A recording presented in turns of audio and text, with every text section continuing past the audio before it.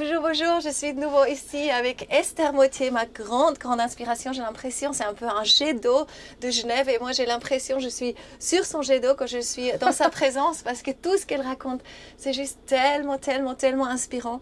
Et euh, j'ai déjà fait une interview avec toi euh, sur justement à Châteaudet, on crée le nouveau monde et c'est totalement vrai. Ça fait une année et demie, je crois qu'on n'a pas fait d'interview, ça fait un petit moment. Euh, et, aujourd'hui, ton projet, votre cercle de mi a bien, bien avancé. C'est vraiment. Euh, bah, je propose que toi, tu racontes ce que tu es en train de faire, où tu en es aujourd'hui avec ton projet et qu'est-ce qui te tient à cœur et tout ça et tout ça. Oui. Oui, non, alors depuis la dernière fois qu'on s'est vu, c'est vrai que ça a beaucoup évolué. Donc peut-être pour la petite mémoire, on est en train de travailler sur un lieu de rencontre sur une ferme à biodynamie ici à Châteaudet. Euh, où on aimerait mettre au centre les symbioses entre tout ce qui est vivant, que, ce soit, que ce soit les ah animaux, les plantes, euh, l'humain. Euh, et ça dans une infrastructure, infrastructure qui, est, qui est 100% durable, qui est en autarcie d'énergie, qu'on produit notre propre énergie avec le troupeau des animaux qui, sont, qui vivent sur cette ferme, au centre de cette ferme. Et puis après, tout autour, euh, faire des structures d'accueil avec un restaurant holistique, des salles de séminaire pour les entreprises, euh, aussi euh, la partie hôtelière qui peut, que les gens avec un spa. Voilà, avec des, des, chambres qui ont des spas intégrés aussi, pour vraiment prendre soin de la vie de, de, ces gens qui viennent aussi, avec toute l'eau qui a été utilisée, une récupération de cette eau qui est travaillée et transformée de nouveau sur le site à travers une step individuelle. C'est fou ça. Voilà, donc il y a vraiment, mm-hmm. il s'agit d'un endroit où on met la vie au centre, où on, essaye de créer quelque chose qui est respectueux, qui a, qui a, euh, qui a un impact très favorable sur cette planète, où on, a, on, donne la possibilité aux gens qui viennent de mutuellement s'inspirer pour le changement, et puis qu'on montre que le changement, ce n'est pas une contrainte, c'est quelque chose qui est obligatoire, mais qui est un grand choix et qui est une grande passion si on est à faire avec autant de gens passionnés comme nous. Dans le cadre du projet, il y a eu jusqu'à présent, ouais, c'était pas ces 500 personnes qui sont intervenues, qui ont donné leur cœur, leur âme et leurs compétences pour faire avancer les choses.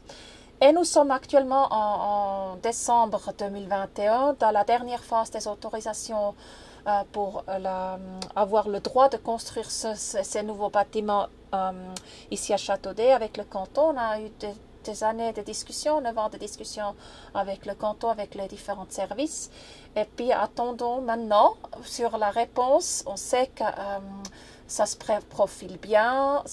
Normalement, l'année prochaine, au mois de janvier, on doit pouvoir aller dans la prochaine étape. Donc, c'est l'enquête publique où les, gens de la région peuvent se prononcer sur leur opinion vis-à-vis -vis de ce projet. Et puis après, on aimerait l'été qui vient commencer la construction.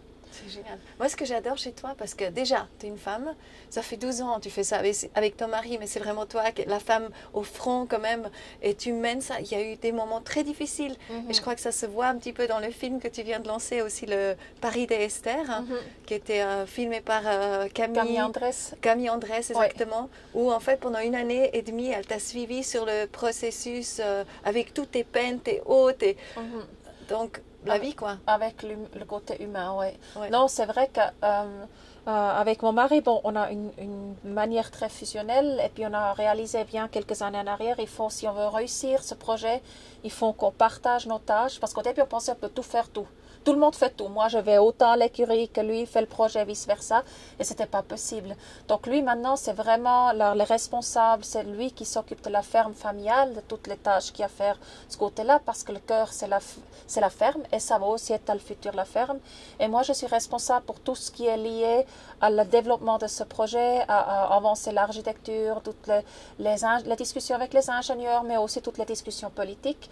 Et ce film de Camille Andrés avait comme but de montrer ce chemin, de montrer ce chemin qui est un chemin de, des personnes, c'était des humains qui sont des porteurs de projets toujours.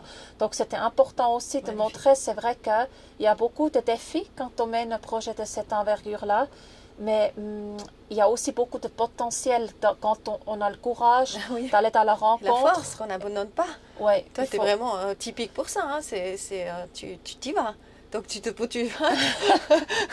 On est d'accord. Oui, j'essaye. J'ai peut-être une Parce vision. que tu sais que c'est possible. hein. Oui, oui, bah, bien sûr, des fois tu te poses la question, est-ce que c'est possible? Ça c'est normal, c'est à la nature des gens aussi, puis c'est ça que je voulais montrer aussi. Je ne suis pas non plus superwoman, mais je suis une femme qui croit à ce Un que je fais. je crois à ce que je fais et je, ne- je vois les faiblesses comme force. Je crois que c'est là surtout la différence. Si on a le courage de montrer nos faiblesses, ça nous rend humains. Et, et quand on est humain, l'autre peut rentrer en discussion. Et je crois que c'est ça qui est important. On n'a pas besoin d'être tout le temps à 100% de notre niveau, à 100% de notre compétence, à 100% de notre force. On peut tout à fait avoir des moments de doute, de, de faiblesse, mais il faut apprendre à gérer ces moments-là. Et je crois que c'est ça aussi qui raconte ce film. Que c'est pas noir et blanc la Ouais. vie, c'est le tout. C'est Et vraiment ça, un magnifique reflet de vraiment ce qui s'est passé. Oui, Parce que ce qui est génial, c'est que je trouve combien tu touches les cœurs. Tu m'as raconté surtout hier aussi par rapport à justement ta démarche actuellement, partout où tu vas, combien tu touches les cœurs de tous ces gens, aussi des, des- des grandes entreprises, des chefs d'entreprise, qui simplement, par toi, je pense, ils sont juste touchés et en fait, ils apportent cet amour aussi après dans la structure de l'entreprise. C'est- Ouais. extraordinaire. Euh, Je crois que c'est le. Je sais pas si c'est toi, si tu dis que c'est moi, mais je crois que c'est tout le monde, quand on est humain, on touche l'humain. Mm. Et l'humain, pour moi, c'est le cœur. Notre force de l'humain, c'est vraiment cette empathie et puis cet amour à travers le cœur. Et quand on a le courage de montrer ça avec un, un- un- un dialogue qui, qui, est, euh, qui est transparent et qui est professionnel à la fois, c'est pas une chose ou l'autre. Ça, pour moi, ça me tient aussi beaucoup à cœur de dire, ben voilà, c'est clair, quand vous allez discuter avec des chefs d'entreprise, il faut connaître ce que vous, le sujet. Il faut vraiment être au, au point avec toutes les, les- les compétences, mais dans un dialogue humain. Et c'est, je crois que c'est ça qui est la force de ce projet. C'est ça qui touche les gens, de dire, ben, Oui, on n'a pas ça. besoin de choisir si on va être dans une approche humaine ou dans une approche économique ou commerciale. Oui, oui, oui. C'est, c'est, c'est, ça va pour moi ensemble. C'est même ça. pas soit un, soit l'autre, ça doit être ensemble. Et je crois que c'est, c'est exactement là où on est aujourd'hui, dans une espèce de, de tournure dans notre société où on doit réaliser que c'est pas un choix à faire de, de séparer les choses, il faut réunir les choses. Là, prenons l'exemple de l'humus, justement, parce que je, je compare ça volontiers à Mhm. l'humus humain. C'est ce que tu es en train de créer, c'est l'humus humain. Qu'est-ce que c'est l'humus et comment l'humus, euh, comment il fonctionne? Oui, alors l'humus, c'est vrai que c'est la nature des La gens en terre soi. fertile, hein, ouais. c'est, c'est, la chose plus inspirante que tu puisses voir, la nature comme elle fonctionne avec toutes les interactions symbiose. Donc l'humus, c'est la partie du sol qui est fertile et qui est très vivant. Donc vous avez des millions de différentes euh, micro-organismes, bactéries, vers de terre. D'ailleurs, 60% de la viande sur toute la terre, c'est des vers de terre. Ça, je trouve toujours impressionnant. Des champignons, des, des- bref, c'est, ça grouille de vie. C'est vraiment très, très vivant. Et, et c'est pas un combat dans la concurrence, c'est une symbiose et une, accumulation de différentes compétences qui se mettent au service ensemble et se crée quelque chose qui est capable à nous nourrir, qui est capable à nourrir les plantes et à travers les plantes, soit les animaux ou, ou- directement l'humain. Donc c'est très puissant. Et c'est intéressant parce que nous, dans notre organisme, on a entre 3 et 4 kilos de micro-organismes aussi, qui ressemblent beaucoup à ces micro-organismes qu'on trouve dans le sol. Et moi, quand j'ai commencé à m'intéresser à tout ça, ça m'a beaucoup inspiré. Pour moi, c'est un peu la, la- la structure de base de la manière comme on devrait construire notre société, notre économie, et de réaliser que c'est pas une concurrence entre eux et l'autre, c'est une symbiose entre l'un et l'autre. Et que tout le monde est gagnant, ça crée des situations win-win, et c'est ça que- qui m'inspire et qui me tient au cœur. Génial. Encore juste, euh, peut-être les deux, trois choses euh, vraiment particulières aussi euh, dans ta, votre cercle de vie. Oui, alors du projet. Euh, oui, il y a tellement de différentes euh, euh, Donc déjà les matériaux, je pense, là c'est toujours C'est le durable. plus Ça, c'est clair, c'est du plus- bois, Les derniers, c'est voilà. Oui, c'est du bois, c'est le, le gravier qui est sur place, on l'utilise pour faire du béton, la- la- l'argile qui est sur place, on l'utilise pour faire les sols dans les chambres. Bref, il s'agit de prendre de nouveau et puis de réutiliser au mieux qu'on peut ce qui, qui est existant. Et puis après, ben, euh, c'est vraiment euh, cette économie au circuit, l'histoire de, de l'économie circulaire, des circuits qui, qui, euh, qui viennent et qui partent, de, vraiment comprendre au plus profond qu'au moment qu'on développe un concept qui s'intègre dans les cycles naturel de la vie, tout se passe bien. Prenons l'exemple de, l'énergie, par exemple. On a les vaches au centre du bâtiment. Et bien sûr, tout le monde sait, les vaches, euh, on produit de la, de, la nourriture avec, de la viande ou du lait, mais ça va beaucoup plus loin. Les animaux, déjà, pour le contact, c'est super intéressant parce que ça apaise, ça amène cet amour inconditionnel des animaux, ça c'est quelque chose qui est super. Et ap- après, ils ont encore plein de choses d'autres à offrir. Par exemple, nous on va récupérer la chaleur des vaches qui dégage beaucoup de chaleur. Et cette chaleur, elle est récupérée et utilisée pour chauffer les espaces d'accueil. Ou alors le fumier des animaux aussi, qui est pris deux fois par jour, on récupère ce fumier. Et puis il est euh, transformé dans une mini-centrale euh, de biogaz en méthane. Et puis avec ce gaz, on crée de l'électricité, on crée de l'eau chaude et on crée à, à travers le gaz direct la possibilité de, co- de- de cuisiner au restaurant avec le gaz des vaches. Donc vous êtes totalement autonome. On est- avec l'é- l'énergie, on, a- on- on essaye de vraiment pousser très loin pour montrer que C'est possible. que c'est possible. Si on regarde les bovins suisses, rien que les bovins seront en mesure de produire autant d'électricité que la centrale nucléaire de Gösgen. C'est quand même très conséquent. Et c'est une énergie qui est aujourd'hui pas encore utilisée. Et, tout, et- ouais. et ça, c'est dommage. Je crois, je crois, ce qui est spécial dans ce projet, c'est la manière comme on prend tout et on réutilise tout et puis il n'y a pas de perte. Nous sommes un système Mhm. dans notre société qu'on a appris à, à perdre la moitié de, de ce qu'on a produit. Et c'est, on peut plus permettre ça dans le futur, c'est pas possible. Il faut qu'on traite mieux les ressources. Il faut pas qu'on produise chaque fois. La croissance sans limite, c'est, malsain. La nature ferait jamais ça. Tout grandit, naît et meurt de nouveau. Ça, c'est dans la le cycle naturel. Et il n'y a pas de perte. Tout est récupéré. Si vous avez les plantes qui font la photosynthèse, les arbres qui font leurs feuilles, l'automne ça retourne, ça crée du sol et puis ça recrée de nouveaux arbres. Il y a, ça sort jamais de ce circuit. Et c'est ça le principe de base de ce bâtiment. La même chose avec l'eau, on parlait tout à l'heure. Donc on a une centrale individuelle euh, pour récupérer l'eau et nettoyer l'eau, une mini-step. Et euh, il y a de nouveau, il n'y a pas de, produits qui sont éjectés sans prendre en charge, décomposer et rendre euh, de nouveau vivant cette matière avant de la remettre dans la nature. Mais comment vous faites juste par rapport aux résidus qui sont nocifs ou comme ça Comment vous récupérez ça? Alors, si tu vois, il y a trois systèmes. Donc, vous avez euh, les eaux grises qui viennent des lavabos et puis qui viennent des douches, les eaux jaunes, l'urine, et les eaux brunes, c'est tout ce qui est euh, euh, les excréments humains.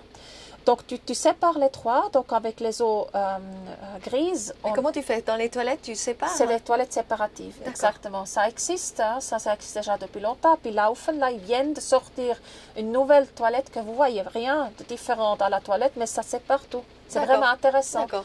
Et puis après, bah, tu as les eaux brunes qui sont amenées sur un compost avec des vers de terre, des micro-organismes. Lombric, hein C'est les. Oui, c'est les composts lombriques, exactement. Et c'est quand même passionnant. En 48 heures, ils te décomposent le tout. C'est incroyable. Comparé à une steppe normale, ils filtrent aujourd'hui environ 40% des substances, ils arrivent à les enlever de nouveau. Et 60% retournent dans nos, dans nos lacs, dans nos ri- rivières. Et puis ici, dans des centrales comme ça, dans des mini-centrales, mais qui, qui séparent et puis qui travaillent avec le, le principe du vivant du sol, qui est vraiment beaucoup plus vivant- parce qu'il y a beaucoup d'oxygène, il y a beaucoup de vie. Dans l'eau, il y a très peu d'oxygène, donc très peu de vie. Donc il faut un, un support qui est très vivant, comme le, le- le sol. Et là, on arrive à des résultats jusqu'à 98-99% de toutes les composants, que ce soit des, des- des médicaments, hormones toutes ces substances qui sont décomposées par ce vivant du sol. Et après, tu le ramènes de nouveau pour l'utilisation dans ton. Alors, en fait, le, le- le- le principe, c'est que dans ces composts-là, ils redécomposent les choses dans de l'eau et puis du CO2 de nouveau. Donc, il n'y a pas vraiment beaucoup de matière que tu dois systématiquement enlever. Parce que ça, ça aurait été un enjeu difficile à gérer à l'interne de complexe avec les chambres. Donc, c'est tous les 10 ans que tu reprends une partie, mais le, re- le reste du temps, ça se décompose et puis il y a de l'eau qui sort en fait, et puis il y a, il y a de euh, l'air qui sort, du CO2 aussi, qui une partie qui, qui est recomposée. C'est en fait le, contraire de la photosynthèse, c'est juste l'effet inverse. Donc ça, ça marche très bien, puis il n'y a pas des volumes énormes qu'il faut traiter après, parce que les gens ont toujours cette imagination. C'est pas du tout ça. Puis après les eaux jaunes, ceux-là, là, c'est très important parce que c'est très riche en, en- en- un élément nutritif aussi, et puis qu'on peut redonner après sol. Avec ça, on fait de l'engrais. que tu nettoies avant bien aussi. Exactement, c'est certifié. C'est tous des systèmes qui, sont, mm. qui ont des certifications, qui sont approuvés. Et puis aussi, on a des partenariats en cours maintenant pour un suivi à long terme, pour que ces eaux soient constamment analysées, qu'on peut vraiment apprendre. L'idée de ce, site, c'est de créer un lieu d'apprentissage où les gens peuvent... tout le monde peut venir, euh, les entreprises aussi, tout le monde, les écoles. Euh, voilà. Vraiment de comprendre comment ça peut aussi marcher et aussi pour tous les agriculteurs, pour tout le monde qui a envie de travailler dans un même sens. Oui. Qu'ils n'ont même pas encore eu ils ont le temps de réfléchir parce qu'ils sont tellement Non, parce que l'avantage dans un site comme ça, si tu as eu 500 différentes personnes qui sont intervenues, tu as, euh, énormément d'inspiration sur le même site. Ça, c'est quelque chose qui est, qui est, magnifique là-dedans. C'est pas, parce que c'est vrai que si tu as à chaque fois un système, tu peux aller voir un lieu. Les gens n'ont pas beaucoup de temps à tout le temps aller dans les différents endroits. Et puis, dans un site où tu as plein de différentes, aussi des startups hein, qui sont intégrées, et tout est visible. Donc, les gens peuvent vraiment visiter et apprendre et voir d'une manière autodidacte aussi. Euh, tu as tout de suite toi, c'est pas la même chose qui va t'inspirer que moi. Tu as ta, source d'inspiration et chacun prend ce qui peut euh, être utile pour, pour son, son chemin. C'est génial. Raconte juste encore les vaches. L'importance des vaches, parce qu'aujourd'hui, les vaches sont quand même beaucoup... Euh, c'est mitigé, oui, ouais, tout à fait. Euh, toi, tu travailles vraiment beaucoup avec les vaches mhm. euh, aussi parce que tu dis justement le fumier, il est extrêmement important pour, notre, pour, nos, pour nos terres aussi. Oui. le contact avec les vaches.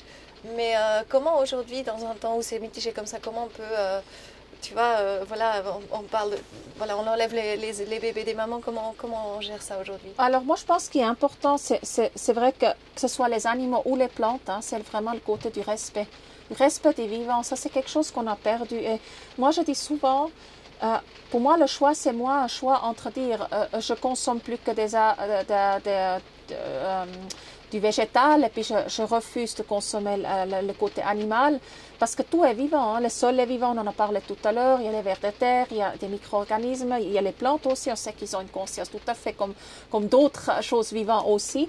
Et pour moi, ce, ce qui est important, c'est quand on a des animaux, ça doit se passer dans les règles de l'or la même chose avec nos sols et avec notre végétal. On doit être dans l'amour et dans le respect. Et quand on a des animaux, il faut les accompagner, il faut, faut, faut être avec eux, puis il faut, faut partie de, la famille. Et il faut leur donner d'autres valeurs encore. Donc, si on parle de le côté pollution aussi, que certaines personnes euh, sont très critiques vis-à-vis de, la, de, la, manière comme, comme les animaux peuvent polluer notre planète, ça dépasse que comment vous affouragez vos animaux, est-ce que vous leur donnez qu'est-ce que vous leur donnez à manger? Est-ce que c'est des animaux qui vivent dans les Alpes et puis qui mangent de l'herbe à des endroits que nous, on ne pourrait rien cultiver vois, c'est tout un ensemble. Et, je crois que c'est cet ensemble qui font qu'on voie, qu'on regarde mieux, et puis qu'on est moins dans ce, le jugement entre noir et blanc, c'est toujours très facile. De dire ça c'est bien, ça c'est pas bien, mais c'est beaucoup plus complexe que ça. Une fois se mettre dans la peau d'un agriculteur qui travaille, on est d'accord, c'est tout ça en fait. C'est facile de le dire quelque chose quand on est à, tout à, fait. distance. Oui, puis euh, euh, j'invite vraiment les gens quand ils ont des, euh, des, craintes, il faut aller discuter avec les, corps des métiers concernés. Parce que ça peut être autre chose, hein. c'est aussi la construction, elle est, elle est très... c'est très, critique dans la manière comme on pollue notre planète à travers la construction, mais ça ne veut pas dire que tous les gens qui construisent construisent mal. C'est comme pas tous les agriculteurs qui sont agriculteurs polluent. Donc on a vraiment, on a pris l'exemple du centrale de biogaz. En utilisant ce gaz que les vaches produisent, on peut en faire quelque chose qui est bénéfique, mais il faut le faire. Ça. Donc, tu vois, c'est ça notre idée. On a essayé d'analyser au mieux qu'on pouvait les différents enjeux qu'il y a dans notre euh, société. On travaille beaucoup avec les ODD aussi. C'est important pour nous. Euh, et, et, on voit que quand on voit chaque problème comme une potentielle solution, tout change. Et c'est notre manière de fonctionner. Moi, je crois qu'on a beaucoup de potentiel. Pour chaque problème, il y a une solution. Ça, j'y crois vraiment. Et c'est ça qu'on essaye à faire, que ce soit pour les animaux, mais que ce soit aussi pour la manière comme on construit ou aussi pour tout ce qui est les collaborations avec les entreprises. Il y a du potentiel partout. À nous maintenant de jouer avec ça et de, le mettre en valeur. Merci Esther. Avec grand plaisir. C'était ma première euh, interview dans le camping-car euh, dans mon, mon, voyage test. Je fais un test maintenant de deux semaines justement. Ah. Et puis euh, toi, tu as aussi un crowdfunding en train de, hein, de, Oui, de- oui, de oui. lancer, donc on peut aller le voir, on va le mettre en dessous. Et moi aussi, j'ai encore avec euh, rendez-vous avec demain justement Mhm. pour aller à la rencontre d'être euh, qui amène tellement d'inspiration, qui amène tellement de vision de où on peut aller aussi dans le sens du manifeste de la nouvelle terre. Et c'est tellement important parce qu'on peut se concentrer justement sur ce qui va pas ou on peut se concentrer sur les solutions et c'est ça, Et, et choisissons où mettre nos forces. c'est ça. Vraiment. Uh-huh. Ça marche. Merci Esther. Bon ventre, Coco aussi. Merci, merci. Merci pour votre attention.